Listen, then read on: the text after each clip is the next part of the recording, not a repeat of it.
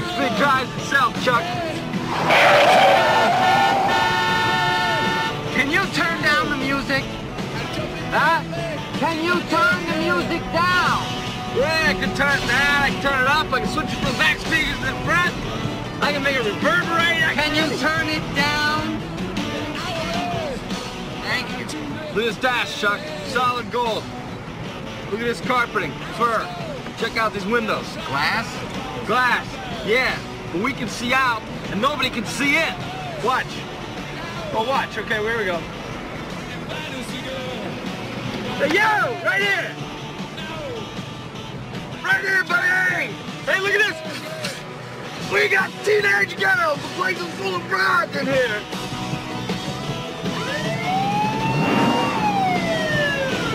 Yo, Roger! Roger, officer! Is this great or what? You're gonna get one, man. This is great. And everything's automatic, too. Pop the trunk right from here. Don't have to move. You should get one of these. What are you doing with all your money? You know, I'd like to talk to you about that. I have this feeling that something is very wrong. We're this close from getting caught. You know what? It's my fault you are the way you are. It is, because I promised I'd turn you around and I haven't done a thing. It's my listening, fault. Bill. Listen.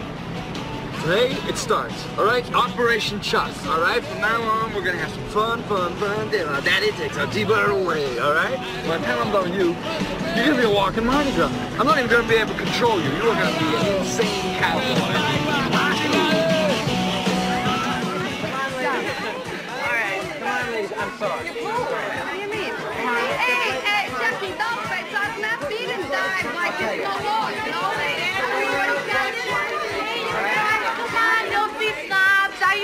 The pickle girl here once.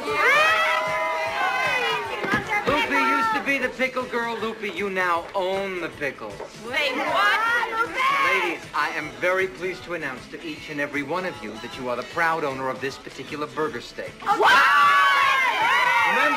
sign your contract. Sign them. This is wonderful. Yeah? Yeah. Thank you.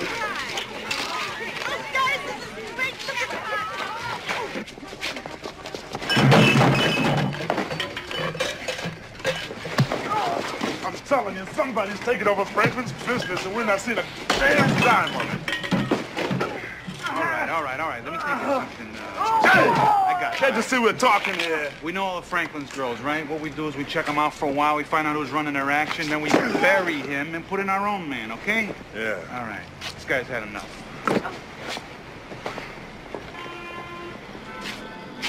And next time, watch out whose car you sit on.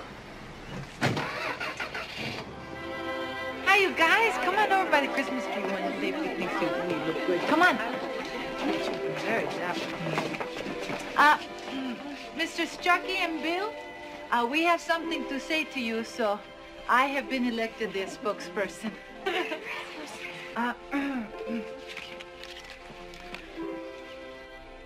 you take us off the city streets and give us nicer men's to meet. We have furs and jewels and nicer dresses to wear, and we even go to Vidal Sassoons to fix up our hair. we move to nice apartment houses instead of living with the ratones and the mouses. Because of you, our joy is jumping. Because we at this party instead of humping.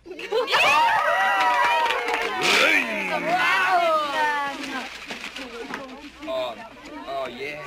Yeah. Chuck, check this out, Jack. Radical! Radical! Oh, I, want, I was gonna get one, but this one's better because I didn't have to pay for it. okay,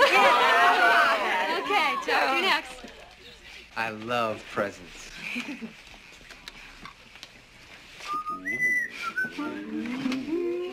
Ladies, it's amazing you've hit upon the one thing I've always wanted.